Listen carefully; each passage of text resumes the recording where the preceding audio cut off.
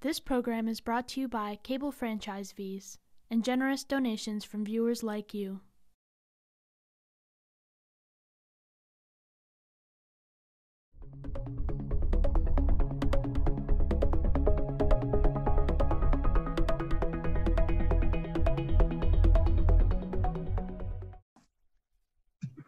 Yes, I'm ready.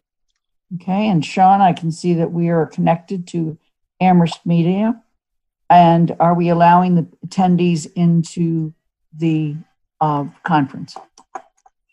Yes. Okay. Then, given that, I'm going to call the meeting to order. Um, Governor Baker's March 12th order suspending certain provisions of the open meeting law, general law, chapter 30A, paragraph 20, allows us to hold this virtual special joint meeting of the town council and school committee. I will call upon each candidate by name, then the members of the school committee, and then the members of the council. At that time, please unmute your mic and say present. This will indicate that you can hear me and we can hear you. Please remember to mute your mic after saying present.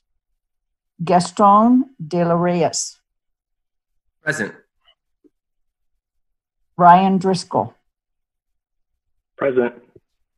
Katie Lesdowski, Present. Heather Lord. Present. Moving to the school committee, Peter Demling, Present. Ben Herrington. Please unmute. Present, sorry. Thank you. Allison McDonald, Present. Harry Spitzer, Present. and now the town council, Shalini Bahl-Milne,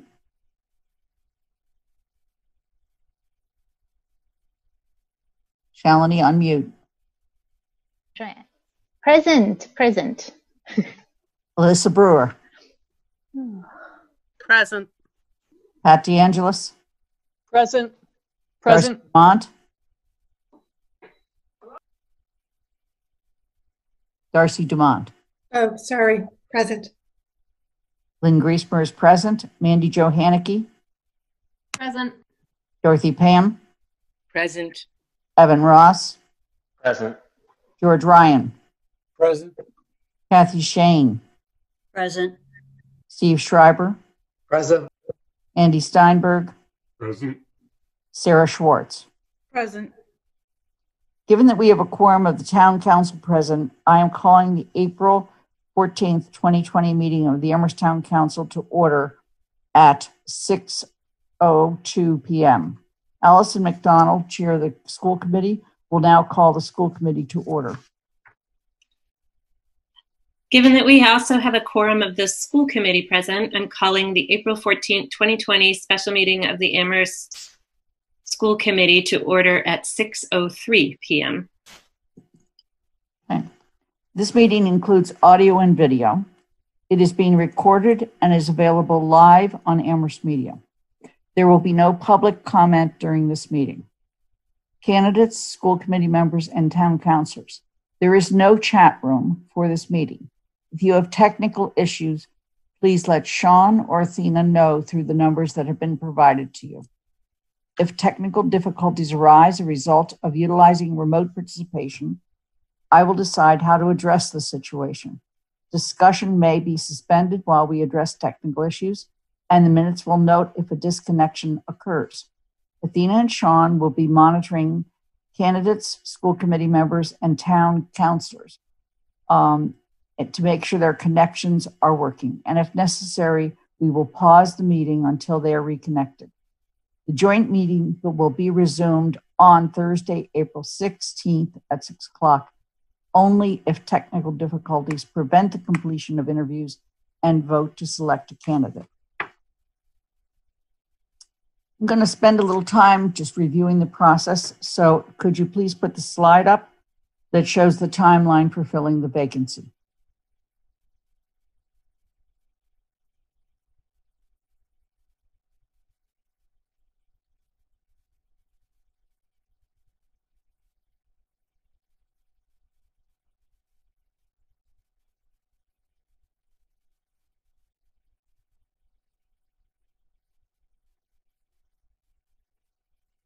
Let me begin by saying the process of selecting a person to fill a vacancy on an elected body is described in the Amherst Home Rule Charter, Section 4.1C. The process leading up to tonight and this meeting tonight is consistent with that section of the charter. It has been vetted with both the town council and the school committee, and it appears as part of the packet for tonight's meeting. Very briefly, on February 21st, Eric Nakajima sent in his resignation. It was effective March 1st.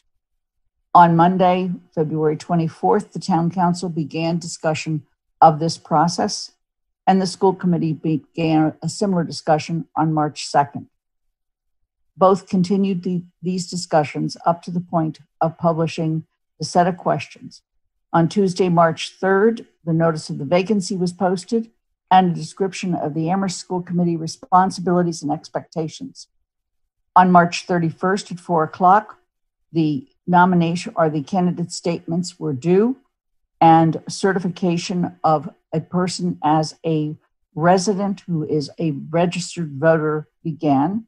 And on Friday, um, April 3rd, we posted their names as well as the first portion of the meeting packet, along with the statements of interest and those certifications.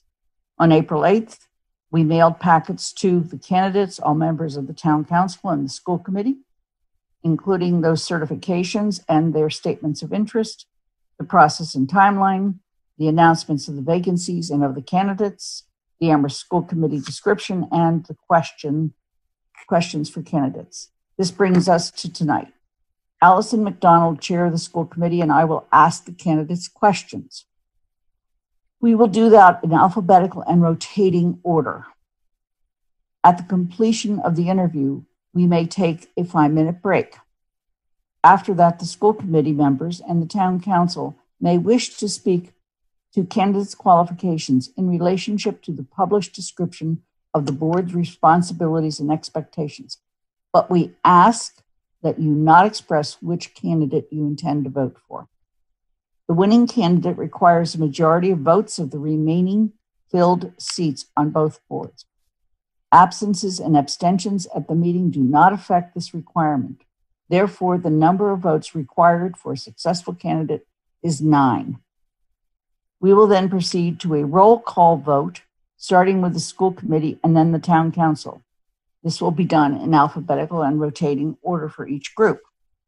If on the first roll call vote, no candidate receives the required number of votes, then the process will be repeated until a candidate receives the majority of the votes as defined above. The council, president, and the chair of the school committee may choose to insert a period of comment after each round of votes. And after the vote is completed, there will be a motion to appoint the winning candidate. So we will begin the opening statements and questions and the closing statements. Allison McDonald will join me in asking the questions. And so uh, we will begin.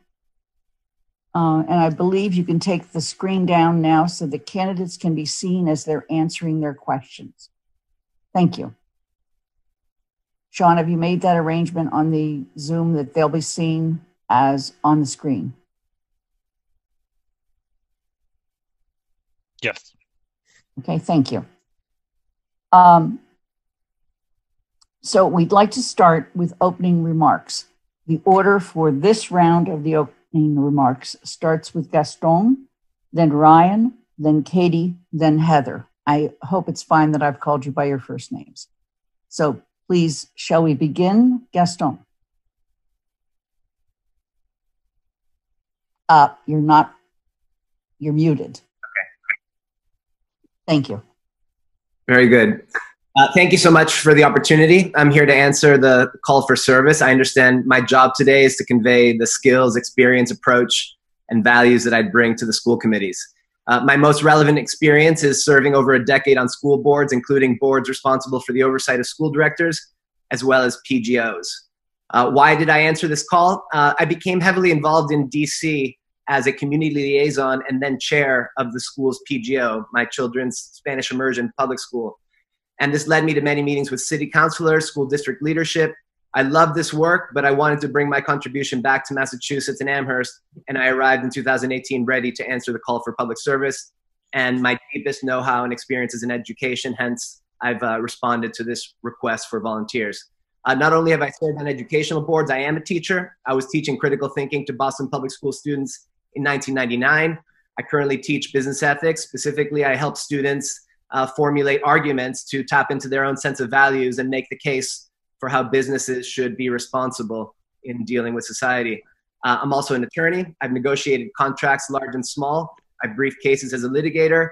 And finally, as a, on a personal note, let me tell you that I moved from Puerto Rico to Framingham, Massachusetts in the first grade. I attended the public schools there. And in the middle school, I actually uh, had one of these open classroom schools like Wildwood and Fort River. Thank you. Thank you. Ryan? Hi, good evening. First, I just want to take a quick moment uh, to thank the school committee and the town council for taking the time to speak with me and each of the other candidates tonight. Uh, I wanted to quickly thank uh, Ms. Lord and Ms. Lozdowski, as well as uh, Mr. De Los Reyes uh, for their willingness to step forward uh, for what is a significant uh, time contribution. Uh, as a bit of uh, background, my name is Ryan Driscoll. I was born and raised in Massachusetts. Massachusetts. I was fortunate to have been educated through the Northampton public school system. College brought me to Boston, where I lived for over a decade. It's there that I met my wife, Charlotte, and we had our first child, Leo. As new parents, we needed to decide the best place where we would establish our roots and raise our family. That is what brought my family to Amherst. That's what brought me before you today.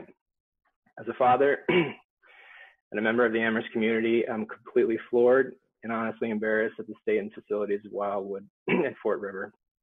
It's heartbreaking to me to hear children opting to keep their coats on during the school day in an effort to stay warm in the face of an inadequate heating system. It's heartbreaking to hear concerns of teachers that damp conditions and deteriorating infrastructure may have a negative impact on their health. Perhaps the greatest tragedy all, of all is that this complete failure to provide adequate space for learning has disproportionately impacted our students who are most at risk. As a candidate, I do not claim to have all the answers. I don't have a PhD. What I do have is a self-awareness to know what I don't know and the humility to seek out insight from those best suited to contribute to an equitable solution. The complex issues facing the school committee need to be addressed from multiple perspectives uh, that are represent representative of uh, diverse group of stakeholders. As a new member of the Amherst community, I can provide a fresh perspective and a renewed sense of urgency to the challenges ahead. I'm committed to doing this while remaining cognizant and respectful of where I come into this process and how I fit into the larger picture here. There's been a lot of positive progress in the last few years. I believe that the school committee is on the right path. I support Superintendent Mr. Morris, and if given the opportunity, I intend to ensure that this momentum continues to move forward in the right direction. Thank you. Katie? Thank you. Good evening, everyone. I feel privileged to be here among all of you tonight, especially given the current global pandemic. In that spirit, I can't begin without acknowledging so many people who are suffering both directly and indirectly the effects of COVID 19. Tonight, my objective is to demonstrate that my skills, my knowledge, and my experience situate me as the best candidate to fill the vacancy on the Amherst School Committee. My presence here illustrates the strong desire I have maintained since campaigning for the seat on the Amherst School Committee this past fall. During my campaign, I reached out to the current school committee members, and together we worked to ensure that the League of Women Voters Forum offered Spanish interpretation services, reflecting all of our commitment to access. Since then, I have watched you work together in a spirit of collegiality, and I would be honored to join the four of you and uphold that same spirit. Like you, I support the compromise proposal of consolidating the three elementary schools into two and will work to ensure that decisions around the project will build our community, not divide us. In many ways, I wish more than one of us could be selected this evening because I know the work is extensive, particularly in this cycle with many decisions to be made about infrastructure and the budget. I know the workload and the time commitment is significant and I'm eager and perhaps more importantly, ready to jump right in to assist you. I have been following the school committee meetings closely since 2014, attending meetings when agenda topics are of particular interest to me, and later watching those meetings that I don't attend in person. As I will describe in my responses this evening, it is my passion and my commitment to the Amherst schools and our wonderful teachers and students that drive my desire to serve Amherst in this capacity. Thank you. Heather.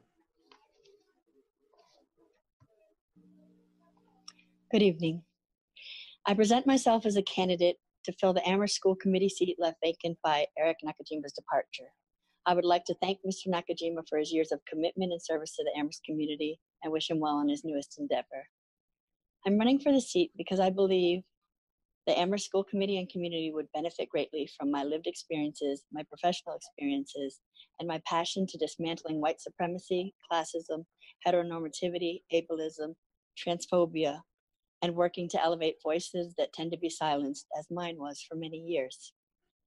Bell Hook's piece called Marginality as a Site of Resistance has helped me use my voice and inspires me to pay it forward.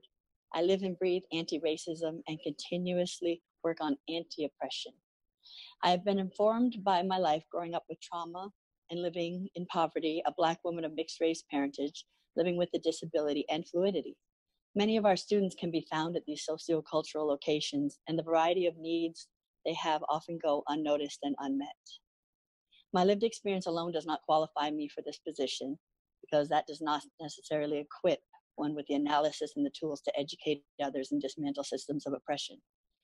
It is the years with Undoing Racism, an organizing collective, and the Anti Racism Consulting Committee that have prepared me for this position. It is the 20 years in the Amherst schools in different roles, working with our students, our families, and our teachers and staff that has prepared me for this position. It is the commitment to inclusivity and listening to the voices of our families and students that has made it imperative for me to apply for this position. Thank you for your consideration. Thank you. So the next, the beginning of the questions to which you each have one to maximum two minutes. As the first one is, based upon your opening statement and the description of the responsibilities of ex and expectations of school committee members, is there anything else you would like to add that additionally describes your ability to fulfill these responsibilities and expectations? This time we begin with Ryan. Thank you. Uh, I spent the better part of uh, the last decade working as an administrator at Harvard University. Uh, here I was responsible for the uh, uh, government reporting uh, responsibilities as well as the facilitating a payment of annuities required to sustain their intellectual patent portfolio. my employment at Harvard allowed me to pursue graduate um, graduate studies in civil rights, community engagement, and nonprofit management as a means of professional enrichment. Uh, without this opportunity, I wouldn't have been able to afford to do this otherwise. Uh, I'm currently employed by the University of Massachusetts Amherst, where I regularly review accepted uh, research proposals from the NSF and the associated budget um, with each proposal uh, and each, each project. Um, I have experience reviewing and managing uh, the post-award process in accordance with university policy guidelines and uh, uh, federal regulations, which I think would be analogous to the role of this position. Thank you. Katie, you're next. Thank you. The primary duties of the school committee include the hiring and evaluation of the superintendent and the review and approval of the district's budgets. I briefly spoke to my ability to fulfill these responsibilities in my statement of interest. In my 20 years work of experience in the education sector, I have evaluated in-service and pre-service teachers again and again. Both locally and internationally, I have mentored and supported teachers to help them achieve their professional goals. In our own district, through my work as a school equity task force member since 2014, I have advised the school committee on ways to include equity-oriented goals this, for the superintendent. Equally important is my experience in, in the nonprofit sector, which well situates me to guide the district budget process each year. In my professional work, I regularly write grant proposals for considerable sums of money and develop budgets in collaboration with my colleagues. The need to analyze budgets, practice fiscal responsibility, and think beyond a one-year time frame are necessary skills for the selected candidate. I ask that you select someone this evening who is adequately prepared to responsibly oversee over half of the town's budget. I have volunteered in various capacities in Amherst since moving here in 2010. I have met people through my roles and as an LSSE basketball coach, a religious educator, a neighborhood food project coordinator at the Amherst Survival Center, by attending regular potlucks for Lucio Perez, and helping with PGO events at Fort River. Furthermore, I'm connected to people through my profession and as a graduate of UMass, and through being the mother of an elementary school student. My circles are vast and varied, which connects me to, with constituents from a variety of settings, and I see myself as a build, a build bridger and someone who collaborates well with people with diverse opinions. These connections will help me facilitate the communication between the public and the district. Thank you. Uh, Heather, you are next. Thank you. My opening statement speaks to interpersonal and intrapersonal strength in the multiple intelligence framework. I have other skills that I'd like to let you know about right now. I served in management positions in restaurants and in theaters. I have managed the budget at Smith, New World Theater, and as a restaurant manager. I was a coordinator for New World Theater's Project 2050, which worked with youth, scholars, and artists at Amherst College to learn about, inform about, and perform about systems of oppression and look at a time when there'll be no clear majority in this country. I have a master's in education through UMass, eh, um, where I focused on multicultural curriculum. So I understand curriculum, scaffolding, backward design, and have learned how to use my discourse analysis training to deconstruct biases. I recently finished a rigorous master's program at Smith while a single mother who was working, so I have energy and perseverance. My second master's is in social work, and that has helped me to navigate conflict and better see other people's positions when they are in opposition to mine. So, in social justice circles, we have differing views on how to accomplish equity. Some believe we need to burn it all down and begin again, as the system is embedded in patriarchy and white supremacy. Others believe we need to find ways to work within the system and affect change that way. Holding both opinions is important to me, and finding ways to work together towards our goal is one thing that I hope to accomplish while on school committee. Thank you. Thank you. Gaston. Thank you. So, you know, it's, it's humbling to be a fellow candidate with um, Heather, Ryan, and Katie. And I think that the difficult decision tonight is the, the council and the school committees, clearly. So I see my role as just trying to help you make the right decision for the school committee, the children in the town. Um, I am a relative newcomer. Um, I moved here first in 2004, but just back now in 2018, which is really the year that Amherst was reborn. And so that gives me a fresh perspective. So I can hit the ground running as far as the work of governance. I have the experience to do that. But in many respects, I have fresh eyes to what's going on in the schools and the challenges. So I am innocent of the struggles that uh, preceded uh, the Newtown Charter and I think that that may be a disadvantage, uh, an advantage. Excuse me. Um, I'll just also put in perspective that um, when Anastasia Ordonez became uh, a member of the school committee, she was also relatively new uh, to the town. So that is uh, a precedent in, uh, in the school committee. Um, finally, just to kind of add a little bit more about myself, I have been concerned with uh, many of the issues that Heather is speaking about for a long time. And um, I studied philosophy, but I also studied courses at the education school anti-racist multicultural education, education for political and social change. And uh, I look forward to uh, continuing that work. However, I have the opportunity to do so.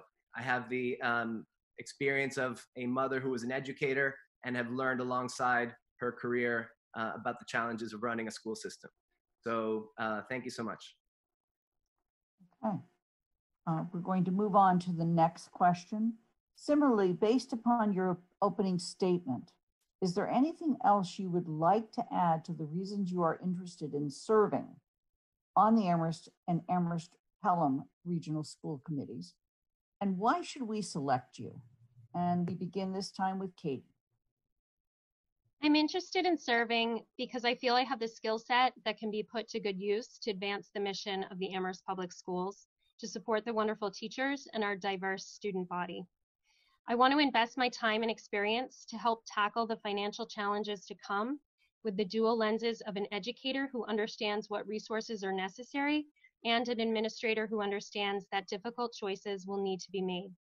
I believe you should select me because my experience in education complements the experience of the current school committee members. They have proven themselves to think critically about the topic at hand, often through their own professional lenses. As an educator with expertise in teaching and learning, I offer a vantage point in terms of how policies and decisions will impact the students that we are here to serve. For example, my PhD program focused on language policy and practice, and my knowledge of bilingual education models can help to ensure the success of our dual language program. I believe strongly in the Caminantes program for numerous reasons. It's a direct reflection of our district's mission, and it attempts to address the enrollment challenges we experience, possibly helping to retain families that might otherwise choose a local charter school with an immersion program. It benefits all of our students who are enrolled. Studies show that multilinguals are better problem solvers, more creative, and better planners skills that will assist students throughout their education and beyond. Also, I'm aware that a significant percentage of students receive special education services, and as a parent and foster parent, my children have directly benefited from these services. Many parents are drawn to our district because of the quality of Amherst special education services, and I believe these programs need to be supported. As an educator, I know that some of these services, while unique to a single student by way of an IEP or 504 plan, often leads to more effective instruction and thus better learning outcomes for all students. Thank you. Heather. I'm grateful to Katie's commitment to having a translator, and it is of utmost importance. We have a bilingual and on the way to being bicultural elementary program. We need accessibility for our families. I'm not yet proficient as a Spanish speaker, but I'm committed to getting fluent as soon as possible. Well on my way. It is a necessity, and I've been learning with the goal of being bilingual as soon as possible. This speaks to my capacity and openness to learning. As a physically able bodied person, I used to take that privilege for granted and didn't have to think about the accessibility in buildings. I learned to look at buildings that I go to now and think about it from another perspective. Would I feel welcome? Would I feel I don't belong? It's an important value to me, learning what I don't know, and increasing my capacity to use the locations where I'm privileged as an activist for those who don't hold that privilege. My ability and openness to learn is a value I feel is important for the school committee. Thank you. Thank you. Uh, and Gaston? Thank you. I, I, guess I'd like to speak to what you would get if you have me um, as a member of your committee. And uh, I'm first of all a very critical thinker. I challenge assumptions. I try to make sure that the group knows why we're asking the questions that we're asking. I try to clarify the issues. I uh, like to put in the time outside of the actual meetings to develop ideas and um, draw up uh, whether it's agreements to uh, have a potential alliance with a private or public sector institution, uh, whether it's to explore an idea that has not been uh, yet developed so it can be discussed at the next meeting. I like to collaborate and highlight uh, what it is that the group has to decide about so that if there is disagreement, the group knows what we're disagreeing about and what positions we have to take in order to uh, reach a reasonable disagreement uh, that reveals that we all still uh, care about the same things but take different positions about how to get there. Ryan. We have a responsibility to provide our children with a competitive education and exposure to a diversity of ideas. I would be personally, personally, I'd be disappointed in myself if I remained on the sidelines during this transition. As I said before, I put my name forward to help ensure that the school committee continues to make what I believe is positive progress. I will do anything I can uh, to ensure that the handoff and leadership is clean and that we continue to move forward as a district and as a community. I pride myself as being someone who is pragmatic, process oriented, and a team player. There's no room in the process for ego.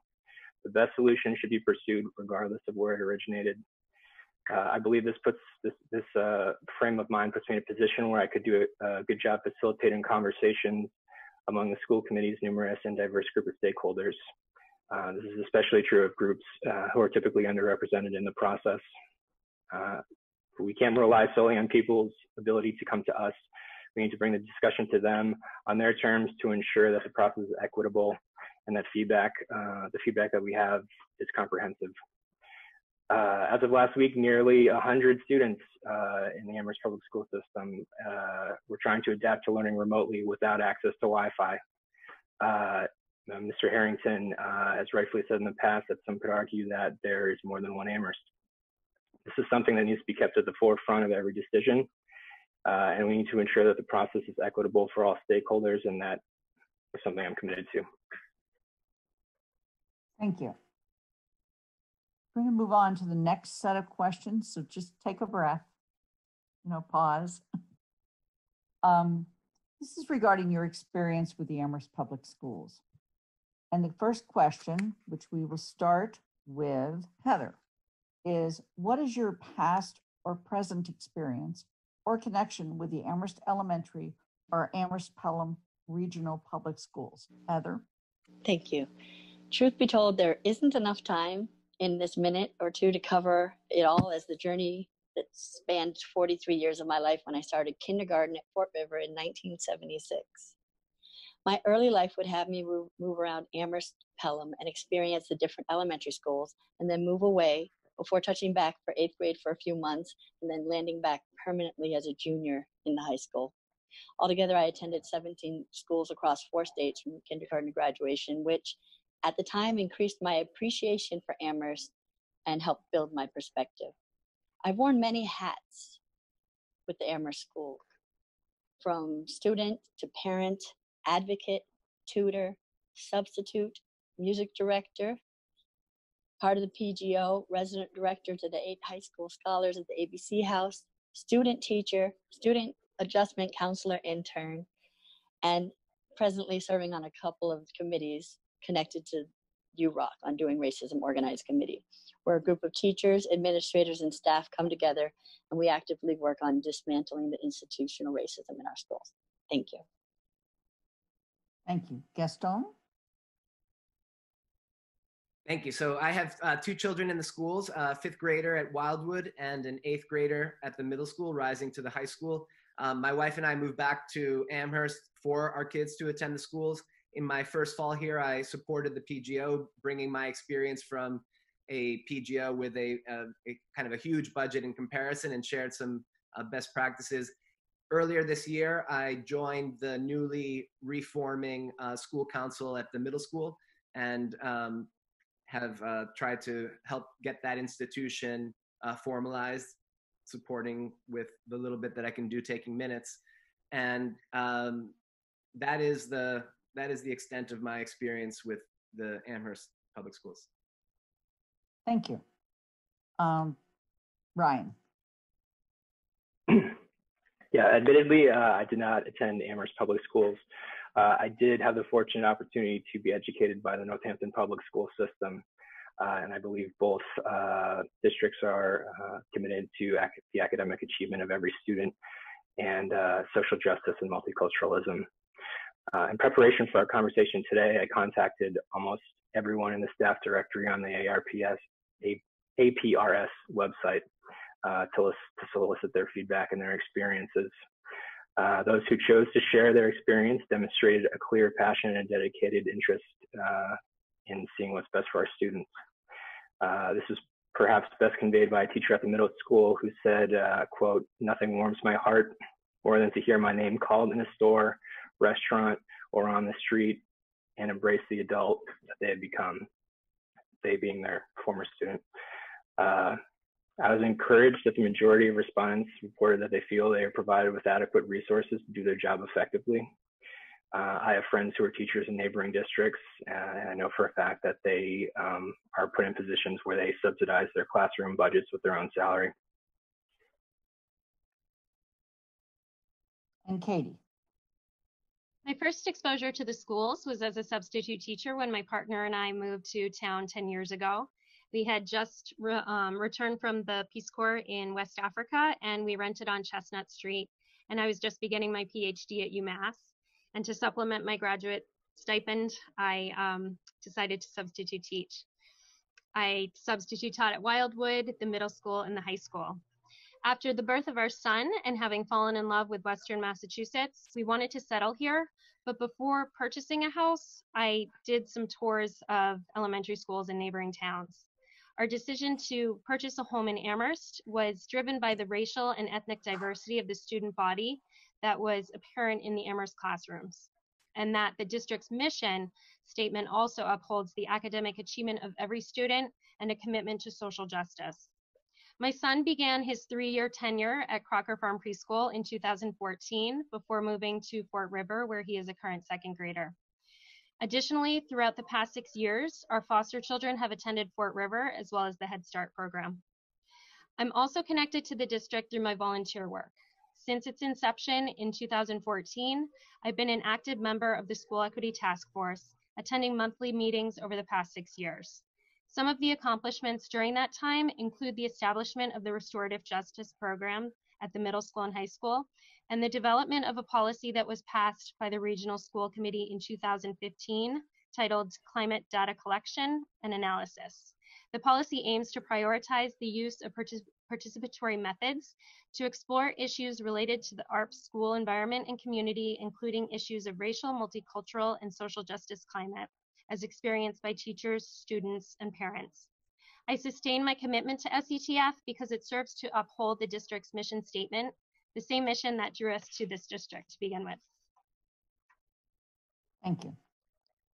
We're going on to the next question was, what do you think is one strength and one area for improvement in Amherst Elementary and the regional schools? We start with Gaston.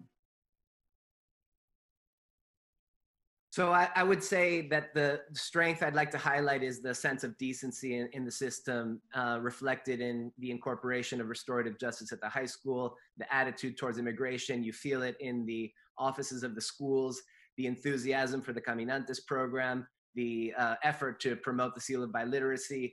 There's a sense that even if there are disagreements about the, the strategy, you're going to speak to people who share your fundamental values, and those values are uh, fundamentally about uh, a sense of decency and caring. And so I would uh, suggest that that is not something that any school district can easily recreate. You either have it or you don't, and I think Amherst has it. Um, as for a weakness to highlight, I um, honestly I am concerned that too many of the hours of my uh, children's time in school is uninspiring, um, and I would contrast that with the very engaging time that they have in uh, many of the specials, the uh, group-based activities, project-based activities in, for example, tech and art. And I would like to see much more of the standard so-called curriculum uh, be project-based and inspiring to children um, across the board. Brian.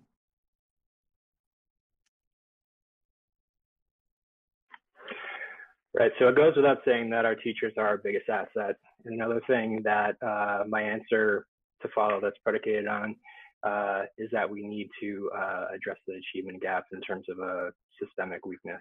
Uh, I know that we've made progress on that, and I appreciate uh, Amherst's commitment to doing so. Uh, in terms of our elementary school, I support the dual language program. Uh, my wife is bilingual. We encourage uh, when, when we're reading our child books uh, at night, we do it in two languages.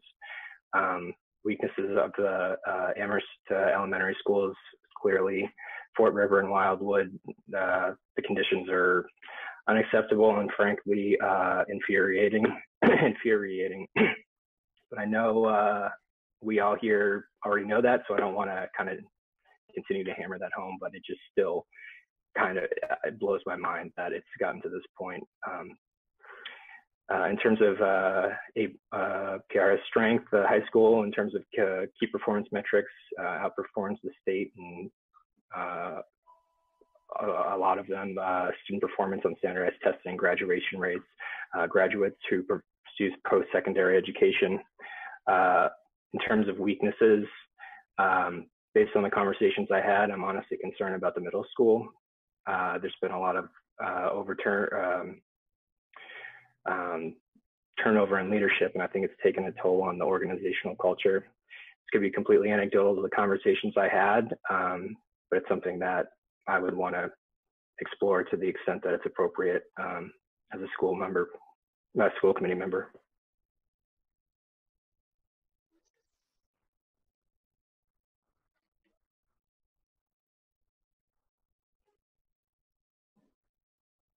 Sorry. Sorry, I had to mute myself because our phone rang. Katie, please go ahead. Thank you. At the elementary level, I believe one of our many strengths is the retention of our teachers. Consistently over the past decade, we retain close to 88% of our teaching staff. This helps to create and sustain the strong school culture and community that we have in our schools. One area that I know is being addressed by the district, which needs to be um, continued, which needs to be a continued area of focus, is the hiring and retentions of teachers who better reflect the diversity of our student body. Diversity takes on many forms, but in particular, I think of racial and ethnic diversity. Studies show that students of color are more successful in their education when they're taught by people who look like them. Over half of our elementary students identify as students of color, yet only 25% of elementary full-time employees are people of color, and this includes all staff, not just teachers. As with the elementary schools, at the regional level, our diversity of our student body is an asset for all learners.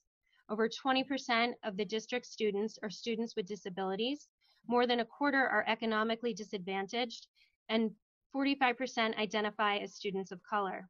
This diversity is a strength and undoubtedly draws families to our town, including new university and college faculty, staff, and students. However, the DESE report card for our regional district shows there are disparities in terms of how our students are experiencing their education. One example that illustrates this is the disparities among the high school dropout rates.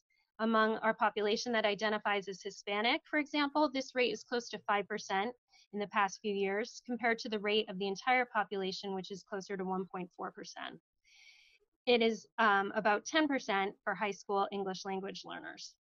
In terms of discipline, students of color are twice as likely to receive disciplinary action than their white peers.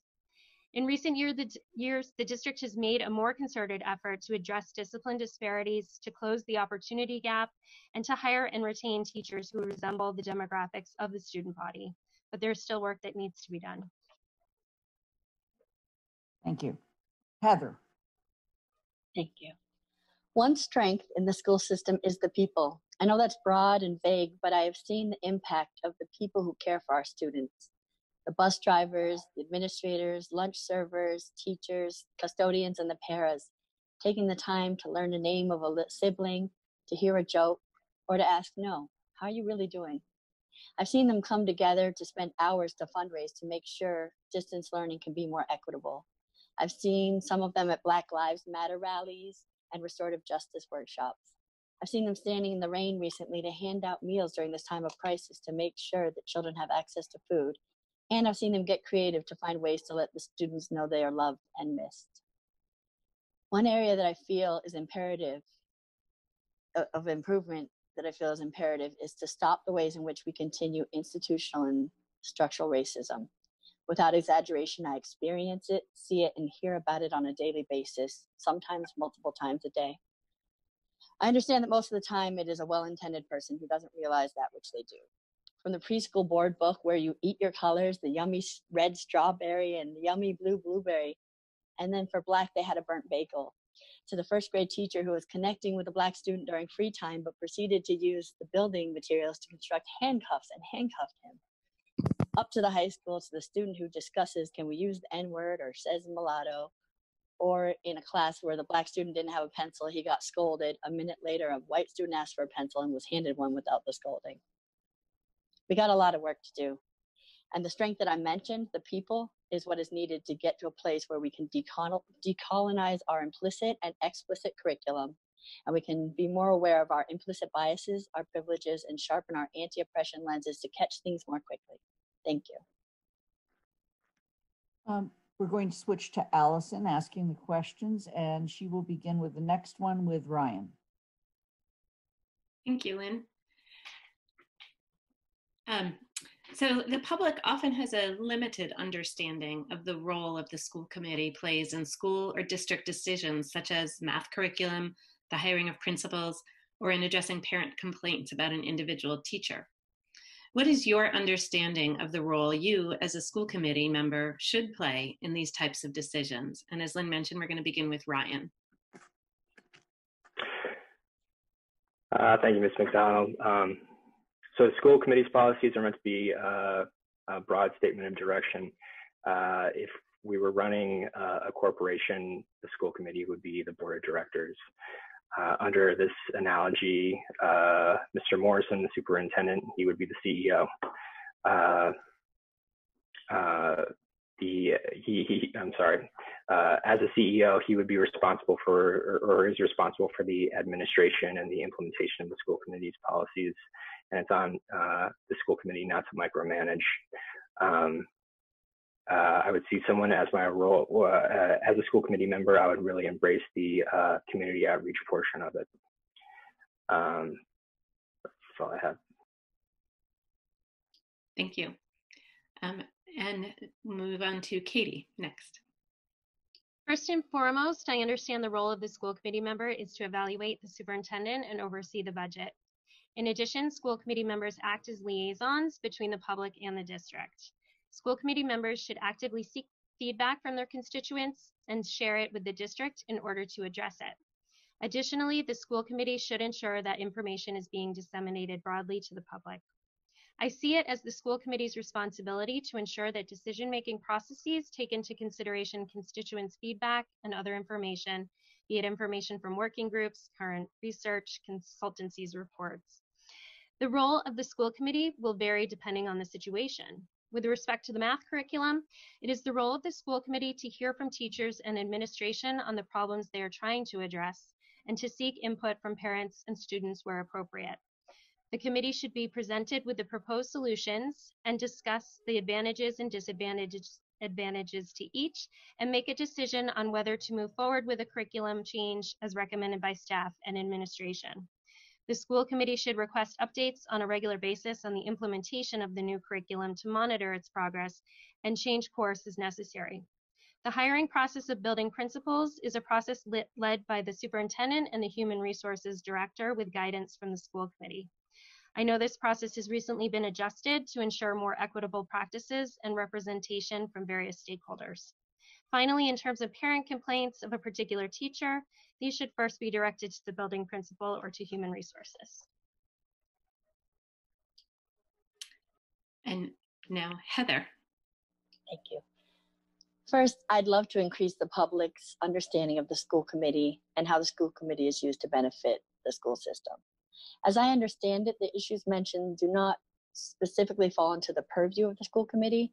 Decisions that include math curriculum and hiring of principals is addressed by the superintendent, and addressing a parent's complaints about an individual teacher would be addressed by a principal or the superintendent's office. Having said that, in the dual role of accountability that is in the next question, um, the school committee could be available to the superintendent to support and set goals should they determine they would benefit from it. Thank you. Thank you. And now, um, Gaston. Thank you. So uh, I had the experience being on a, a, board that was responsible for the uh, hiring and oversight of the executive director. I went through this learning curve, and it, it took me a, a, little bit of time, to be honest, to understand what it is not to try to micromanage and um, get into the operations of the school, in this case, the school system, but rather to uh, create the conditions for the success of the superintendent and to uh, run interference with the state and the federal governments, to make connections to parts of the town government that can collaborate and support the schools, um, to strategize on stakeholder management, by which I mean uh, reaching out and connecting to parents and local business, but to support fundamentally the um, success of the superintendent and the uh, institutions that it is the superintendent's responsibility to manage. Thank you. Moving on to our next question, and this one will start with Katie. The committee is expected to collaborate with and hold the superintendent accountable at the same time. How would you approach this dual role to achieve the best outcomes for students? Katie. I appreciate the fact that the students are at the heart of this question. In school governance, it's easy to get caught up in the many issues and tasks on the table and lose track of why we're at the table in the first place. Students should inform the work, everything from creating the agenda to decision-making processes, and especially in terms of criteria that are set for the superintendent evaluation process. My career has allowed me extensive opportunities to work directly with and to evaluate others. My approach to collaborate while holding the superintendent accountable will reflect the balance that I've mastered in terms of supporting and evaluating, which entails building trust and building a mutually respectful relationship. If elected, I see it as my responsibility as a school committee member to collaborate with and support the superintendent while also be willing to ask tough questions when appropriate. I imagine it is similar to how the town councilors work with the town manager. I would strive for the committee to set clear and measurable goals for the superintendent as early in the school year as possible. This provides clarity and guidance for the superintendent as to where he should prioritize his time and effort. There will never be enough time to tackle everything, so the committee needs to collaborate with the superintendent to determine the district's priorities as he is the primary conduit to building principals, teachers, and ultimately students. Goals should be student-centric where possible, and the committee needs to ensure that throughout the year, there are ample opportunities for the superintendent to check in on the progress towards the individual goals and adjust as necessary. If we are all effective in our roles, he will successfully meet the objectives and the district, both the students and staff, will benefit. Thank you. Next up, Heather. Thank you. The dual role is one I hope to have with all of my relationships. We collaborate and we hold each other accountable. To me, it's part and parcel of reciprocity. I understand this is an institutionalized version of that, but what I'd like to do is also recognize much of what we hold as institutional follows white supremacist culture. I understand that there needs to be the institutional side of accountability with evaluation and reportable data that is accessible to others. Can we find ways to deconstruct some of that while still being accountable to DESE? Maybe not. And there are other issues that need to be prioritized, but maybe we can approach it in ways that are a little bit different. What is important for me to hold on to when bringing accountability forward is to be clear, fair, and kind in the delivery. If the environment is contentious, we won't be able to put our best selves forward and serve our students. Difficult conversations and conflicts will come up, and if we have a framework for them, we can navigate it with less tension. Thank you. Thank you. And next, Gaston. Thank you. So I don't see these two roles as uh, really distinct. Um, in formal terms, the relationship of the superintendent with the school committee is arm's length. It's mediated through a contract. Uh, I don't consider that the role of a member of the school committee is to be loyal to the superintendent. My obligation, if I am on the school committee, is to respect and inspire the superintendent to be an ally and a facilitator to ask, how can we help you? What do you need? Uh, because uh, my accountability, the school committee's accountability, is for the success of the superintendent. So I think the school committee exists to serve and create the conditions for the success of the superintendent, to perform the legwork that contributes and makes it possible for the superintendent to succeed. Thank you. And Brian. Uh, so I would approach this uh, in terms of just always remaining focused on what we're there to accomplish as the committee uh, in collaboration with the superintendent. And uh, like we said, what's in the best interest of our students uh, should be at the center of all decisions. Going into the process, I know that there may be inherent difficulties given the dual role, um, but ultimately we're all there for the same, uh, to accomplish the same thing. I would be cognizant of which role I needed to be in at any given time. I suspect there's maybe some difficulty in the fluidity um, that goes along with um, balancing the two. Um, I haven't had the opportunity to meet Mr. Morris in person, uh, but I've been very impressed with his work.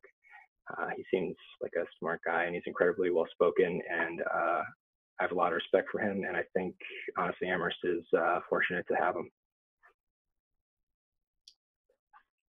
Thank you. Moving on to our next question, and this one we'll start with Heather. How do you deal with differing views when engaging in a committee decision-making process? Again, we'll start with Heather. At the heart of it, I believe we have the same desire to serve our students. I hold that truth to be self-evident and then understand that we are all different. We have different ideas of what that truth looks like. Hearing the differing views with an open heart and mind is necessary, and then being inclusive of the fact that our sociocultural locations will inform us in a variety of ways to how to get there. Granted, there's the external pressures that come with being a public school, um, system and needing to be accredited by the state where there are consequences for not checking the necessary boxes. So it's a balance. Working to find a compromise within the constraints we have before us is the goal. I will use my training in restorative justice and social work to support hearing each other's differing views, figuring ways to build bridges and cultivate common grounds, because we are better together. Thank you. Next, we have Gaston. Thank you. So I would start by saying that I would be um, much more uncomfortable if there weren't differing views uh, on a committee, and I would then see my my first role to try to um, make sure that we have covered all the perspectives that we need and try to find the disagreements before we reach a consensus. So once we uh, get the conversation going, my first question is always, have we done our homework? Have we uh, turned the stones over that we need to turn over before we can make a good, good decision here? What principles are at stake? What are we really making a judgment on? And what are we staking our personal uh, conviction on when we uh, execute this decision? What judgments are we making? Um, the other question is, how important is it to have consensus on this question? The more important consensus is on a given question, the, the, the longer and the, the harder that it makes sense to struggle and see if we can find how to uh, construct the choice so that the group can come together. Thank you. And next, uh, Ryan. Yeah, I think that's really well said. Uh, if there isn't dissenting opinion, you probably don't have everyone at the table that you need to make an informed decision. Uh, a, healthy debate is part of the process as long as it remains respectful. Uh, I believe it's through well-informed uh, dissenting opinions uh, that the best ideas emerge. Uh, as a general rule, I make sure that I don't take things personally. Um, I would always remain focused on the big picture and what we're there to accomplish as a committee. Uh, and just have a self-awareness know it's not about me. It's not about any one individual. If that were the case, there wouldn't be a committee. Um, and I'd always just, I would just try to remain sensitive to uh, the other, to, to understanding where the other person is coming from and know that uh, my life experiences are not uh, or, or may not be representative of theirs. Thank you. And next, Katie. Thank you. I can't help to wonder how everyone's doing right now. Um, my career offers me ample opportunities to work with a diverse set of people who come from different backgrounds and hold different perspectives. During my time as a Peace Corps volunteer 10 years ago, I often had to step outside of my comfort zone in hearing people's beliefs about controversial topics, be it gender roles or perspectives about the United States. I have found that asking questions to better learn and understand people's perspective is often the first step in bringing up issues that have not been considered. I believe that discussing varying viewpoints can strengthen and further justify a particular decision. When things become tense, I often fall into the role of a facilitator and work to ensure that various viewpoints are considered. I am very much a process oriented person and want to ensure the process of arriving at a decision is a positive experience for everyone involved. I believe that valuing and respecting different views can lead to a deeper understanding and a more vetted and acceptable outcome. Thank you. For our next question, we're going to start with Gaston. This question is Is there anything in your work travel, or other plans that will keep you away from Amherst so that you're not able to attend meetings in person regularly and fulfill other duties of the committee? Again, we'll start with Gaston. Sure, thank you. So um, I'm uh, lucky to be teaching 100% online uh, for uh, George Washington even before the coronavirus uh, pandemic. And so um, gratefully, the answer is uh, no. And even when I am teaching, I uh, can schedule to not have to uh, be away Tuesdays, Mondays. Uh, I've been an active member of the Board of License Commissioners and uh, have not missed a meeting. Um, so the answer is I am prepared to uh, be in person and make the commitment to the committee. Thank you. Next up, Ryan. Uh, yep, I'm available and fully committed. Uh, submitting a statement of interest is not something that I took lightly. It was a decision that I gave a lot of thought to. I had a conversation about my wife about it because uh, it is a time commitment and some of the responsibilities uh, as a parent and uh, around the house will inevitably fall to her if this is uh, something I'm dedicating so much time to. But no, I'll be around and I don't foresee uh, anything that would prevent that. And honestly, hopefully we are meeting in person at some point in the near future. Thank you. Thank you. Uh, next, uh, Katie. Thank you. I thought a lot about this um, when I ran in the fall in terms of how do we draw in people to run for office. And I think a lot of what we need to think about is how do we make it accessible for those who are serving and building democracy. Um, as a mother, I have various challenges. Um, and at the same time, I think being a mother of a young child often gives me a, a critical vantage point to really think about what our students are experiencing. Um, I had the luxury of working locally and have flexibility in terms of my schedule. There are times when I do travel internationally, um, but provided technology is allowed to tune into meetings such as this one, um, there are certainly ways to to work around that. Thank you. And next, Heather when I opened, I talked about having been in 17 schools. And um, as great as that was, I was committed to not putting my children through that. So I'm committed to staying in Amherst for a while, um, even post graduation, because she wants to come back. So I do not foresee any conflict of me being able to serve. Thank you. Thank you. And now for the next questions, we'll turn it back over to Lynn. Ooh, remember to unmute. So take a breath while I get organized for our next round. Um, next set of questions are about the Mass School Building Authority and the new building. The school building project that was accepted by the MSBA in December is one building for K through five or six that would replace Fort River and Wildwood schools, with the location of the project as yet to be determined. As a member of the school committee, what will you contribute to the work of this project? And we begin with Ryan. Thank you. Uh, again, uh, as I said before, I want to be respectful as to where I am coming into this process. There's been a lot of thought and work uh, and effort already that's already gone into this. Uh, so I'm not coming to the table with a checklist of things that I want to personally see done. Um, uh, in terms of where I would start from day one, if given the opportunity um, to work on this project, I would I would have a conversation with the school committee members as well as other people um, who have been involved uh, to see what their priorities are, um, and I'd be helpful or happy to help out in any way um, that I can. Um, generally, uh, I would approach this role uh, as someone who would be uh, in the forefront of the community outreach required for this project and the decisions involved. as you said, the, loca- the location still has to be determined. There's a lot of um, difficult looming questions that are still out there. Um, and community engagement is going to be a central part of making sure that those answers um, are adequate. Katie.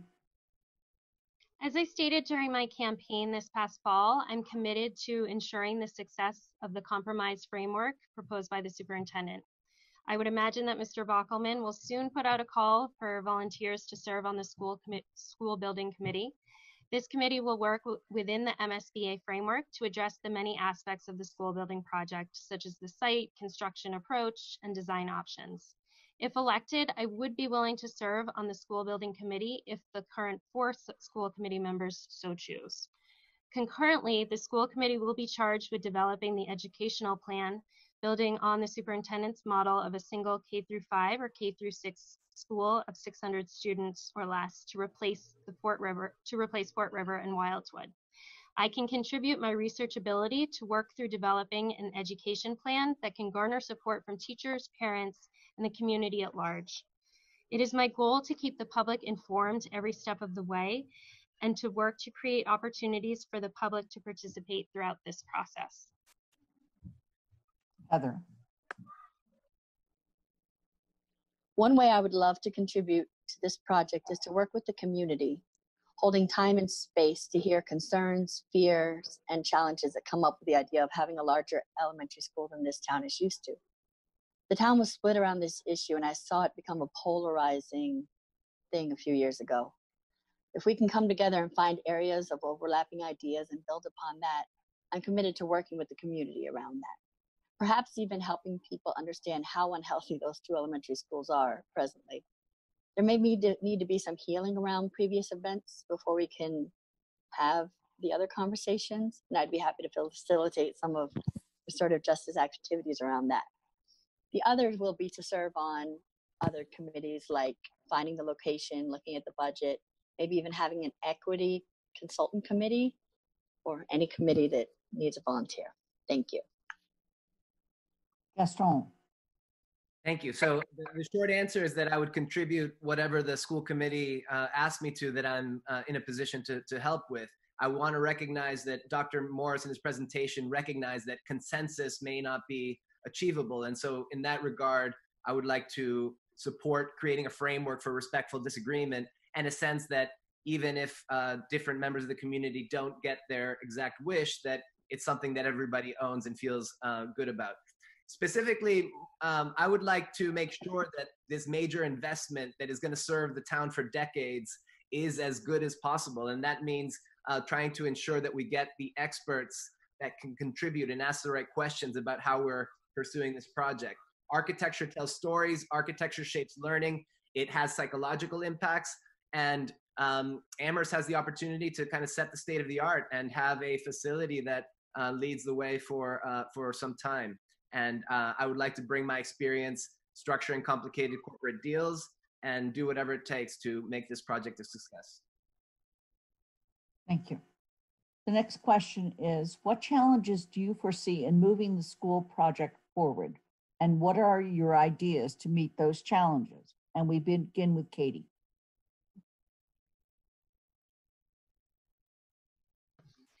In moving the school project forward, many important decisions will need to be made, including whether sixth grader, where sixth graders will be educated, whether Crocker Farm will be expanded, how to redistrict the two new enrollment zones, and whether there might be preschool at the new building, among others.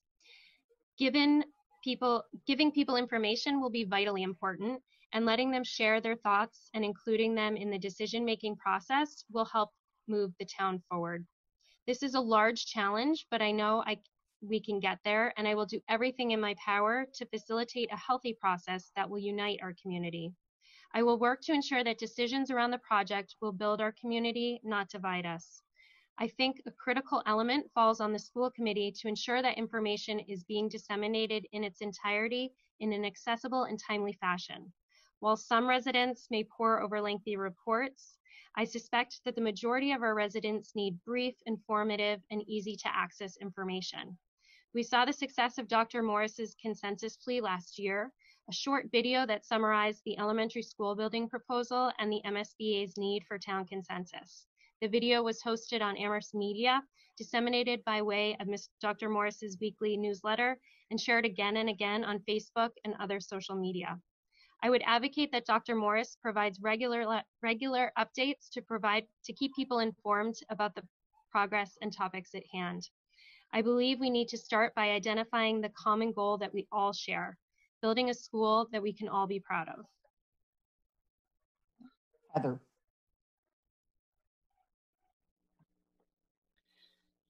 There are still people who believe that small schools or neighborhood schools is the only acceptable version of Amherst that is okay. This is where conversations are needed and a compromise could be possible. I was one personally who was against the large school because I had a fear rooted in my racial justice background that was not being acknowledged or responded to. I couldn't but vote for a school that might have ended up doing more harm to the students of color.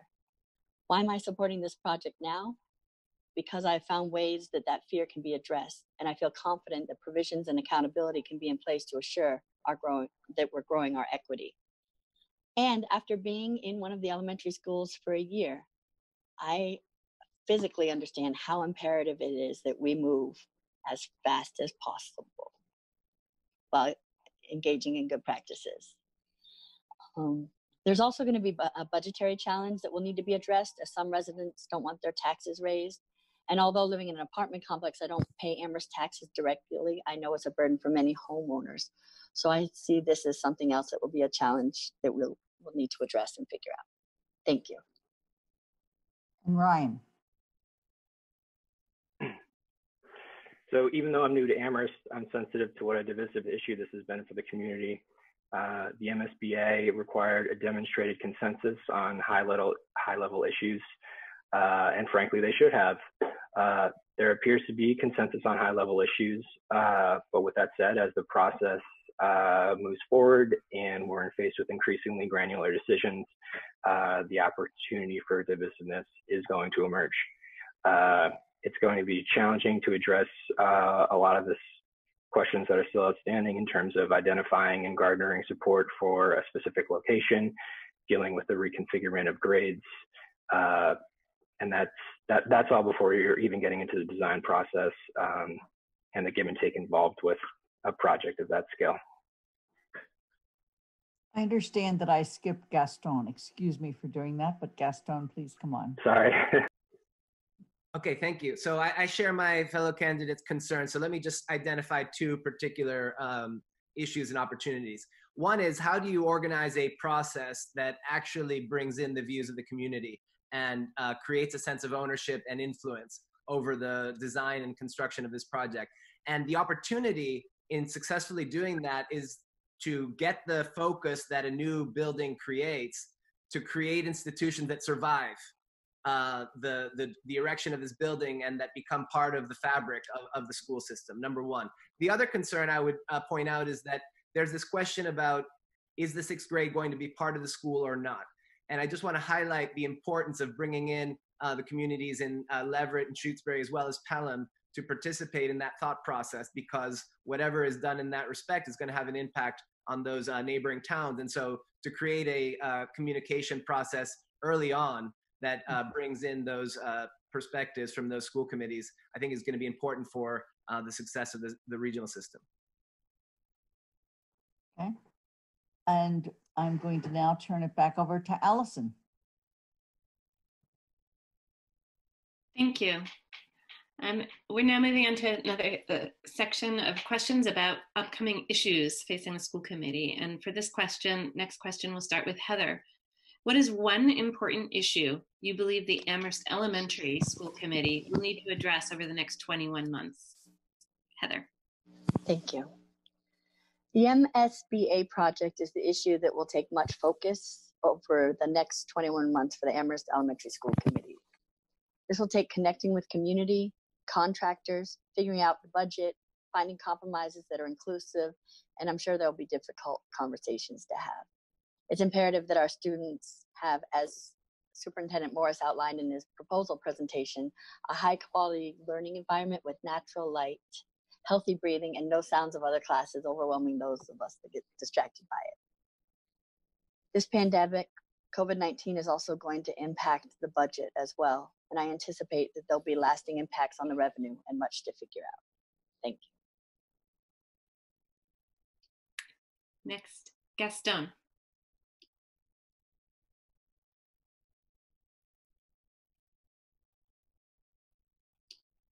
Gaston, are you there?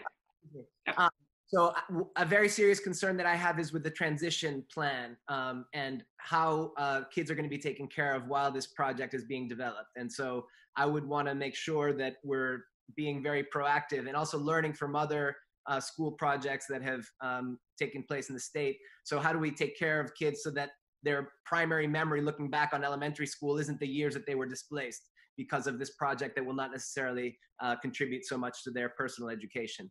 Uh, that is, that's number one. And um, another opportunity, kind of shifting from the school project, is um, to create foundations for the curriculum design in the classroom to be more decoupled from um, the MCAS and trying to, to, to uh, succeed on the test.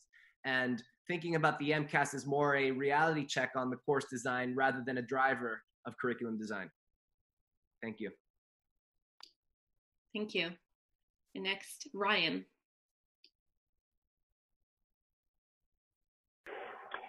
Uh, so certainly COVID-19 response is truly the most pressing issue at this immediate point in time.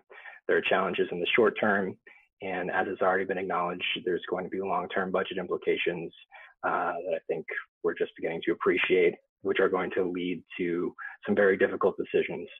Um, uh, in terms of the elementary school project, uh, that's going to certainly uh, be, be pressing and challenging. I share Gaston's uh, insight into um, making sure that there's a suitable transition plan for students uh, who will have to endure the construction and the project without receiving any of the benefit directly. Um, and is always the underlying question is how do we continue to uh, work towards um, addressing the achievement gap? Thank you. And next, Katie. I think I'm in agreement here with my fellow candidates. Um, a number of weeks ago, my chosen topic would have been ensuring that the elementary school build, building project makes good progress. And while we need to maintain those efforts with the advent of COVID-19, we have immediate and pressing issues facing our district, in particular, the impact that will have it will have on the budget and on students and families. The district has been working diligently to provide distance learning to all students, accounting for differences in access and support. And while we are in the throes of it now, I believe the aftermath will be equally challenging. When the moment does come to return to school, it will be helpful to have thought through what it will look like. Even during this process, to fill the vacancy, constituents have been reaching out to me expressing their concern. I think the more we can begin to think through what the summer and fall could look like, the better off we'll be. Thank you. Moving on to the next question, um, similar to the previous one, what is one important issue you believe the Amherst Regional School Committee will need to address over the next 21 months? And for this one, we'll begin with Gaston. Thank you. Um, let me bring to attention a, an issue that I know well from my experience with the PGO in, in DC. Um, many of you know that over the last two weeks, um, PGOs have successfully raised a lot of money to address the issue of hotspots, and that's um, incredibly important to address this need. But having PGOs with substantial budgets creates important governance issues, and it also matches organizations that do not necessarily have governance structures that are up to the experience of managing significant budgets. And so there's an incredible opportunity in um, tapping into greater fundraising. Um, the PGO that I was a chair of had a budget over $250,000 that had built up over the years. So does Amherst and its uh, related towns want to go in that direction? If so, I think it is important to, to give leadership and create structure so that that is well managed. One of the opportunities for greater budgets from the PGOs is to address um, what I see as a, as a fundamentally problematic reality right now that children have to pay for sports, for example. So I, my view, um, children should and families should not have to choose to figure out budgets for things like sports and after school activities. But that raises a question, where's the money come from? It could come from PGOs, but then we need leadership to address the governance issues that that would create. Thank you. Ryan? Uh, we're faced with issues regarding shrinking enrollment. Uh, I'm also very concerned about the state of the middle school. Um, I'm I'm hesitant to uh, bring this up because I realize it may uh, not be perceived as uh, being beneficial, but um, I'm concerned that uh, teachers don't feel they have adequate support when it comes to difficult behavioral decisions. Um, I don't want to be labeled as the uh, disciplinarian of the candidates, um, but I feel like I would be doing a disservice to the um, teachers and the staff members who were willing to share their experience with me uh, and their concerns if I didn't at least address it. Thank you. Next, Katie. The budget will be a significant challenge for the regional school committee, especially with the financial impact of COVID-19 and when that's better known. There are likely there will be likely be a need to review the operating budget in the next few months in order to match expenses to reduced revenues. In addition, reaching agreement on the assessment method has been a perennial challenge, and I understand that discussions at Four Towns meetings have not been easy. Apportionating costs of a district such as ours, where one member town is so much larger than the other three, is a difficult endeavor. Sorry for the dog. It will be important to consider the impact on the regional budget and how costs are apportioned if a recommendation is made to move sixth graders to the middle school and only Amherst decides to move forward with that change. The regional school committee will need to work through this process with guidance from the superintendent and the financial director to ensure a solution is found that is palatable to each member town. Thank you. And next, Heather. My answer would have been different a month ago when there were no fatalities in Massachusetts, and now we're at 957 and on our way to 26,000 fatalities nationally to COVID. And I certainly didn't understand what was to come. This pandemic has an impact on every aspect of what we do the vendors that we have contracts with and will have contracts with, the budget, the gap in learning that is often supplemented with the summer programs that may not be possible. So, supporting the Amherst Regional Public Schools to address that, the impact on the staff, the families, the students, the community. As of today, I know personally of nine Amherst families that have lost an aunt, an uncle, a brother, a sister, a father to COVID 19, and that number will increase as the days go by. The behaviors and the traumas that will be present in everyone and the looming potential of a second wave will need to be considered and addressed in some ways. As a member of the school committee, I believe we will need to find ways to support each other, mitigate the consequences, and advance the health and wellness of our school community. As the nation faces an economic crisis, if not recession, our budget is also going to feel the brunt of this pandemic. And I feel that is what I'll focus on. Thank you. All right, everybody take a breath. We're on the home stretch. we only have two more rounds to go. Um, we're going to talk a little bit about community engagement and then we're going to go on to your concluding remarks. The question regarding community engagement, we will start with Ryan.